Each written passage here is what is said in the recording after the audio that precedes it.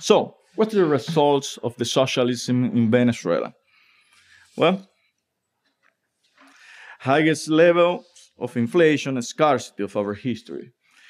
Uh, people eating garbage, schools that do not teach, hospitals that do not heal, long and humiliating lines to buy flour, bread, or basic medicines, the militarization of practically every aspect of the life, etc.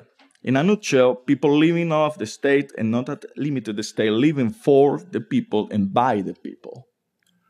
Look, this a crowd fighting for just two chickens. And this is all days in Venezuela. But all this is made in socialism.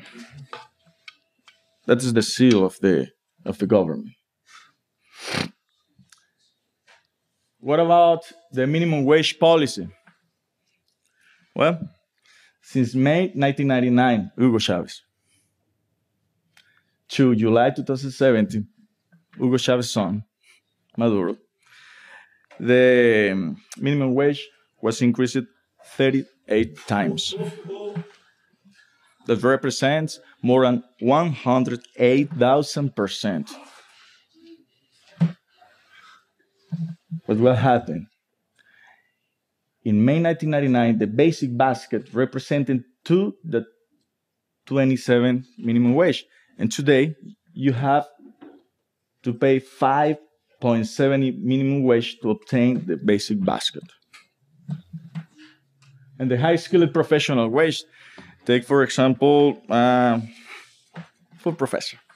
In the 1980s, the full professor needs to pay almost 15 minutes of his salary to buy one kilograms of beef. Now, today, July 2017, a full professor needs to pay the equivalent of more or less 18 hours for buy one kilograms of beef. The socialism. Other example.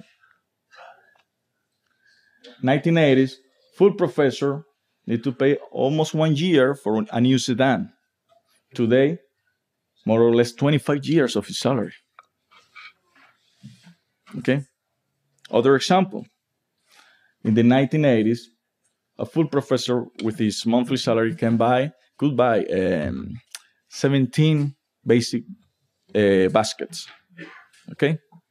Today, he can buy just uh, one quarter of a basic basket. and what about my, our money? Well, in March 2007, this was the highest uh, bill in our economy 100 bolivars. And you could buy $28, 288 eggs, or 56 kilograms of rice. Mm, today, you can buy this. One of these. So, from March 2007 to July 2017, you need five of these bills to buy just one egg. Okay? So, socialism is the cause of the Venezuelan misery. Venezuelans are starving, eating garbage, losing weight. Children are nourished. But friendly minded of socialism, like Stiglitz, Bernie, Bernie Sanders, Pablo Iglesias, and other people, think that Venezuelan socialism is the best. Anyone in Venezuela would be happy to eat out of America's trash cans. It would be considered gourmet when you have nothing. It's really, you have nothing. A lot of Venezuelans have nothing. Socialism sucks. Bernie Sanders, no matter what you say.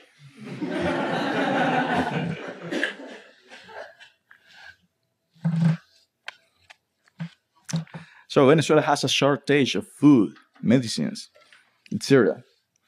Uh, on July 2007, 17, more than the 16% of the products of the basic basket are really scarce. But this is socialism at its finest. This is the saddest reality of our health system. Free health for all Venezuelans, said the government.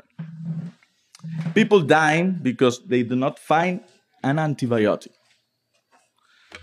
or newborns placed in boxes because hospitals lack the cradles or incubators. See this picture?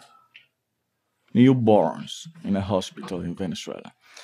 I guess uh, uh, any puppy in, in the United States or in any other country has a better bed than these children. Our children do not deserve this misery.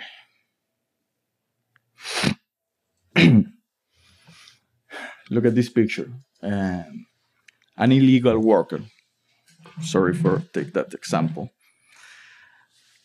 An illegal worker uh, needs less than an hour for buy this bottle of acetaminophen. Okay, but a full professor in Venezuela needs more than 40 hours to buy that bottle. And if he, if he, he finds it, okay? Because it's very, very difficult to find acetaminophen in Venezuela. Socialism at its finest. And meanwhile, our opposition, opposition leaders, keep negotiating freedom with a tyrannical regime at the expense of the suffering of millions. Citizens are urged to regain hope, but in our view, these politicians have defrauded people. By the way, all of them are socialists. All of them. In different levels of socialism, but it, uh, they are socialists. Well, he Chavista. He is the governor of, of my state. But he's Chavista. He is Leopoldo. He's the most uh, media coverage, but he's an utopian social democrat. Okay? And he, I think he, he, he, he is in the Congress from Perez Jimenez. He's the oldest, the oldest of the opposition, but he's a dealer. He's, he has very business, very much business uh, Capriles loves Lula's socialism. He say that, okay?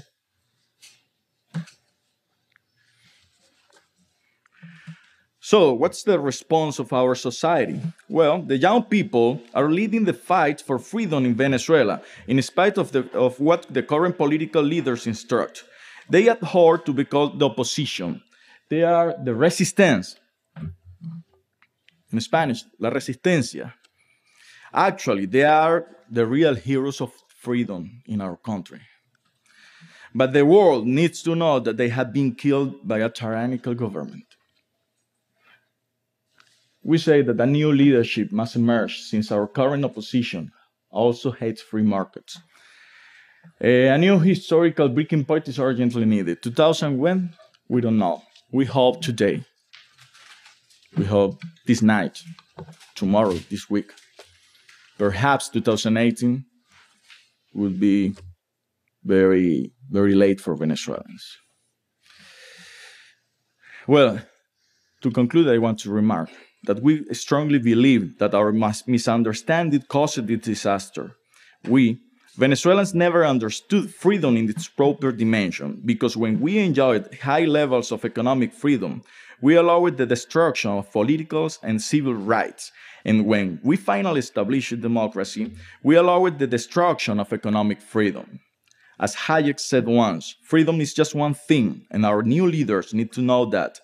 In the name of Econintech, Movimiento Libertad Venezuela, the resistance, and millions of people in our country, we thank the Mises Institute for this opportunity to briefly tell the untold history of Venezuela. Thank you very much.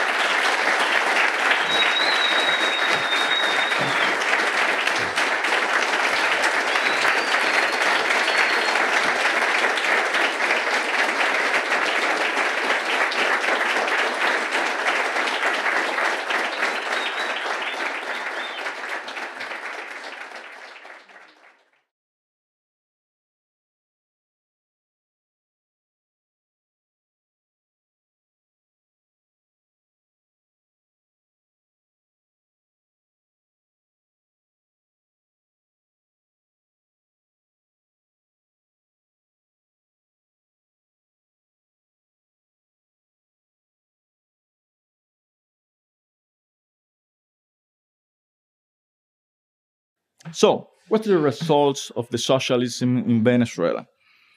Well, highest level of inflation and scarcity of our history. Uh, people eating garbage, schools that do not teach, hospitals that do not heal, long and humiliating lines to buy flour, bread, or basic medicines, the militarization of practically every aspect of the life, etc. In increased 38 times. That represents more than 108,000%. What will happen? In May 1999, the basic basket represented to the 27 minimum wage. And today, in nutshell, people living off the state and not at limited the state, living for the people and by the people. Look, this a crowd fighting for just two chickens. And this is all days in Venezuela. But all this is made in socialism. That is the seal of the of the government. What about the minimum wage policy? Well, since May 1999, Hugo Chavez, to July 2017, Hugo Chavez's son, Maduro, the minimum wage was